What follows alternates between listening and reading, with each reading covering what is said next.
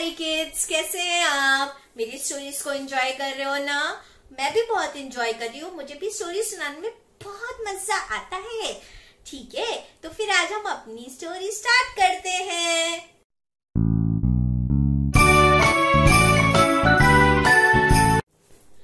तो आज की स्टोरी का नाम है the monk and the thief yes तो मॉन्क क्या होते हैं? मॉन्क कौन है? मॉन्क होते हैं, जो मुनि नहीं होते ऋषि मुनि, उनको ही हम मॉन्क कहते हैं। लेकिन ये बुद्धिस्ट मुनि होते हैं। बुद्धिस्ट जो होते हैं ना, वो मॉन्क्स जो होते हैं, जो थोड़े से, नहीं, बल्कि ज़्यादा से गंजे होते हैं, जिनके बाल नहीं होते ना, वो मॉन्क्स होते हैं। ठीक है, उस मॉन्क की कहानी है और उसके साथ एक थीफ था। वो क्या था?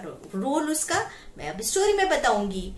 तो हम स्टार्ट कर रहे हैं अपनी स्टोरी तो एक मॉन्क रहता था, एक गाँव में, वो बहुत ही काइंड हार्टेड था. बहुत ही दिल से सबको अपना बनाने वाला, बहुत लविंग था. सबको मतलब ऐसा सोचता था कि मैं अच्छा होऊँगा तो सामने वाला भी अच्छा होगा.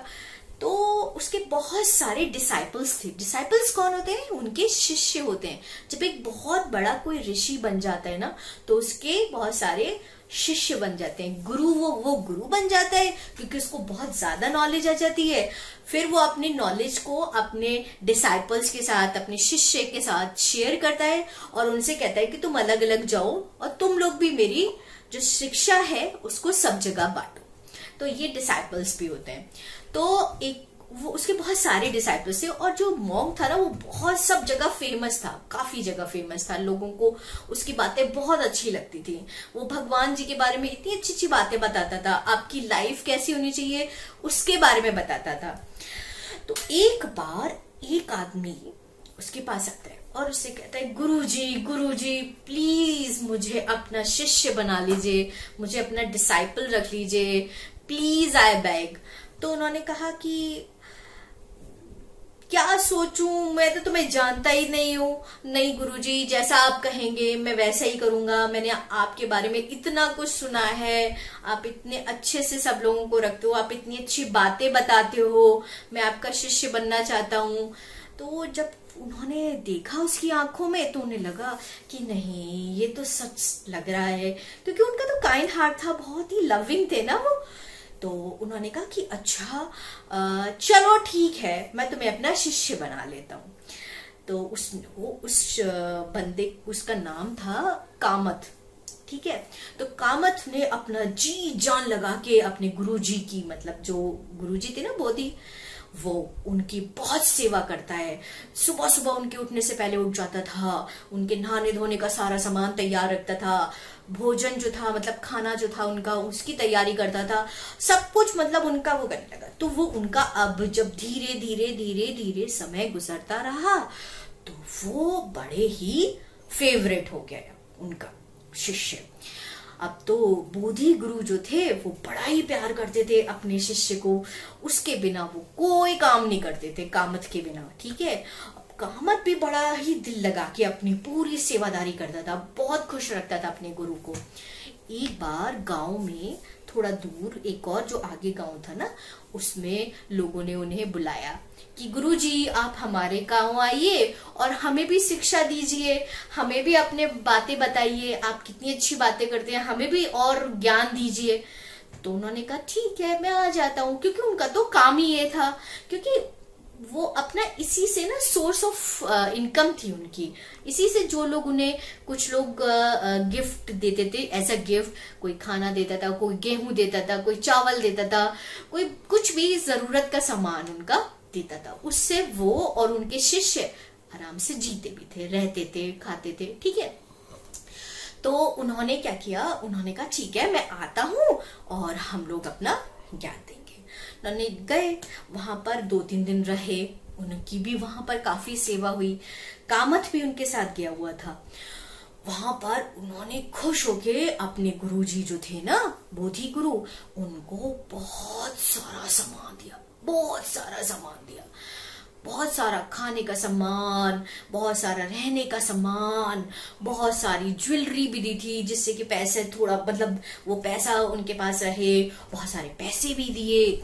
अब तो गुरुजी ने मना किया कि नहीं नहीं, मुझे इतना नहीं चाहिए ये, मुझे मेरी ज़रूरत नहीं है। मुझे तो बस थोड़ा ही खाना पीने का सामान चाहिए, बस, जिससे मैं और मेरे शिष्य खुश रह सके। उन्होंने कहा, नहीं गुरुजी, आपने हमें इतना अच्छा ज्ञान दिया है, अब आप प्लीज़ हमारी खुशी के लिए ये सामान भी लीजिए। उन्होंने कहा, चलो ठीक है, रख दो मेरे कमरे में, और मुझे कल सुबह जाना है तो आप मुझे सुबह उठा देना। ठीक है, मैं सुबह आपके जाने की तैयारी हम लोग आपकी कर देंगे। तो वो जब सुबह उठे गुरुजी तो बोधि गुरु उठे ना, उन्होंने देखा उनका सारा सामान गायब। बाप रे, कैसे गायब हो गया? सारा सामान लेके कौन चला गया?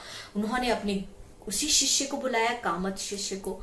देखा तो कामत शिष्य भी नहीं मिला। फिर लोगों को समझ ही नहीं आया कि ये कहा है। फिर एक उनका शिष्य था, वो भागा भागा आया, गुरुजी गुरुजी गुरुजी। तो उन्होंने कहा, क्या हुआ भाई? क्या बात है? तुम इतना भाग भाग के क्यों आ रहे हो? गुरुजी, मैंने सुबह देखा था, अंधेरा था, और जो कामत था ना, इतनी बड़ी पोटली में बहुत सारा सामान लेके ना, वो भागा जा रहा था, भागा जा रहा था। अब गुरुजी को समझ आ गया कि भाई, जो कामत था, वो उन के पैसे पे नज़र रखे हुए था। और जैसे ही उसे मौका मिला, जैसे ही उसे इतना पैसा दिखा, वो पैसा लेके भाग गया। कितनी गंदी बात थी ना अपने गुरु का पैसा। ओ। फिर वो, भाई, उनको बहुत ही बुरा लगा कि मैं तो उस पर इतना विश्वास करता था वो इतना हार्ड वर्क करता था मेरे लिए। तो तब लोगों ने उन्हें समझाया कि गुरुजी बात मेहनत की नहीं थी, वो आपको दिखाने के लिए, वो आपको इम्प्रेस करने के लिए करता था। पर नज़र तो उसकी आपके पैसे पर थी, आपके सामान पर थी। और जिस दिन मौका मिला, वो लेके चला गया। तो आप कभी भी शक्ल पे मत जाइए। उसकी नेचर को समझने की कोशिश करिए। तो गुरुजी को थोड़ा सा समझ में आया कि मैं इतनी सारी चीज़ें लोगों को समझाता हूँ, लेकिन आज इस वाक्य ने भी मुझे बहुत ही ज्ञान की बात बताई।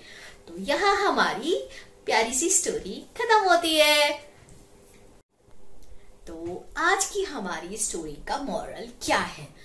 मेरे हिसाब से, जो मेरे हिसाब से मॉडल मॉरल निकल कर आता है, वो ये है कि हमें अपीरियंसेस पे नहीं जाना चाहिए। अपीरियंसेस आर डिसेप्टिव डिसेप्टिव मतलब छलावा होती हैं, झूठ हो सकती हैं। और हमेशा जैसे अब कोई फ्रेंड बहुत ऐसा हो, एकदम लेजी सा दिखता हो, कोई ज़रूरी नहीं है, वो हो सकता है वो बहुत इंटेलिजेंट हो, वो कुछ सोच रहा हो। तो हमेशा हमें अपीरियंसेस देखकर लोगों को नहीं समझना चाहिए, उनको नहीं नापना चाहिए कि भाई, ये ऐसा है, ये ऐसा है, ये ऐसा दिख रहा है तो ये ऐसा है। नहीं ना? तो ये हमारा मॉरल है। हमेशा अपने इंटेलिजेंस से काम लेना चाहिए, हमेशा अपने दिमाग से सोचकर, समझ के तब कोई डिसीज़न लेना चाहिए। ठीक है? तो फिर हमें अब चलती हूँ मैं। कल फिर नई स्टोरी के साथ आना है ना मुझको? इसलिए मुझे जाना ही होगा। फिर don't forget to subscribe my channel नाच का friends also to subscribe it and don't forget about the surprise also I am reminding you again ठीक है? और फिर डोंट और मेरी वीडियोस को लाइक भी तो है। लाइक भी करना है ना? आपको पसंद आती है ना? लाइक भी करो ना। फिर मिलते हैं कल। तब तक के लिए बाय चारिकल्स लव यू